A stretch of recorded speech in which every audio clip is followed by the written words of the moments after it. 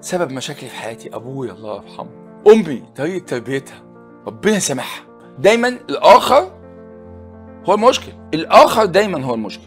بمعنى طول ما إحنا عايشين في آخر هيعمل حاجة مش بالضرورة إحنا عايزينها.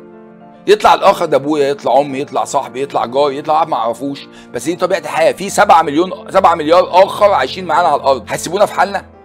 ما كل واحد عنده بلاويه هو. فحضرتك هقعد إيه؟ الآخر هو السبب ماشي يبقى انت عندك 7 مليار آخر. اتعامل معاهم. اتعامل مع نفسي. الآخر هو السبب. الآخر يعمل اللي هو عايز يعمله. بس أنا أقدر أشعر بقدرتي أنا. مش أشعر بتأثير الآخر السلبي عليا. ممكن أحلل وأقول بسبب إن الآخر عمل كذا وبتاع المرة الجاية أما أجي أعمل هعمل حساب الآخر.